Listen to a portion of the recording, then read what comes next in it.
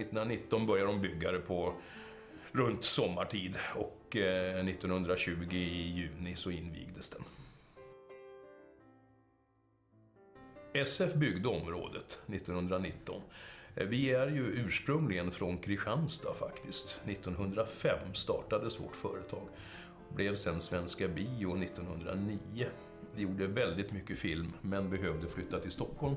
Så att eh, Charles Magnusson, våran VD, formulerade ett antal krav som man skulle ha på en ateljé. Och om man tar det här området så uppfyllde det alla krav. Du har, eh, han ville ha stadsmiljö, då har du Råsunda torg en bit nedanför. Enastående jugendarkitektur från 1909. Här fanns det en sjö, tunnelbanan heter ju Näckrosen, det finns ju en anledning till det. Eh, det fanns skog, det fanns åker, det fanns allt man behövde plus ett stor, en stor, stort område att kunna bygga på. Så att eh, då byggde man då som man hade lilla ateljén, så småningom även A-hallen.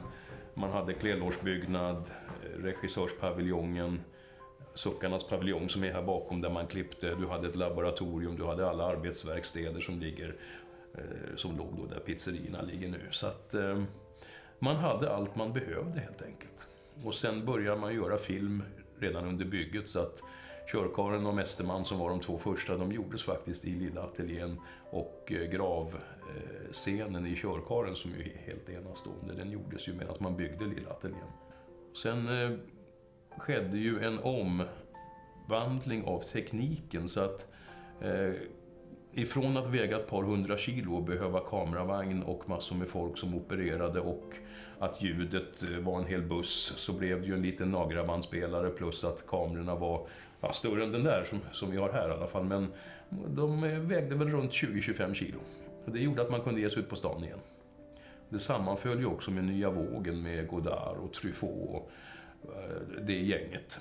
Och vi fick in en producent på SF som hette Bengt Forslund, en mycket skicklig man Eh, som eh, drog till sig ett antal nya talanger.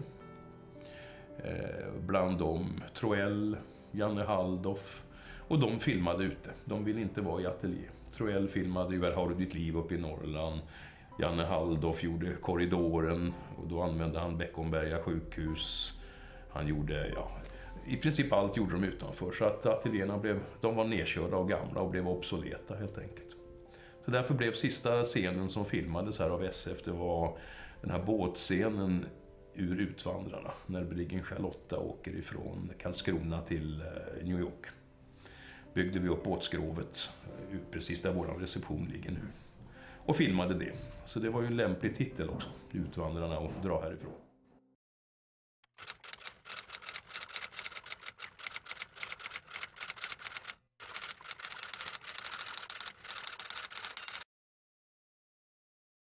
Det gick inte att ena folk. Det är, tyvärr är det samma sak där. Det är, att jag tycker det är en bedrövelse att det finns hur mycket pengar som helst till andra museer och andra saker. Och ibland är jag förundrad över vilka skitgrejer man gör ett museum om. Men svensk filmhistoria och biografhistoria finns.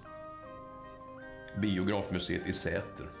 Och så en och annan sporadisk utställning eh, på institutet och sen finns det i våra första ateljéer som byggdes 1909 nere i Kristianstad så finns det ett väldigt trevligt litet filmmuseum.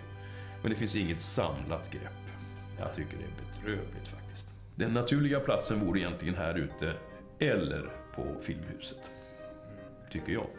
Det där det trots allt finns aktiviteter med film och här ute har vi ju området med, med hela den historiken. Jag tror inte att det kommer att ske någon filminspelning på det här stället utan filminspelning i Stockholmstrakten är ju för det mesta ute vid Filmhusets ateljéer. Ja, det här är, har sedan vi flyttade in 2001 och kommer framgent att vara eh, kontorsutrymmen.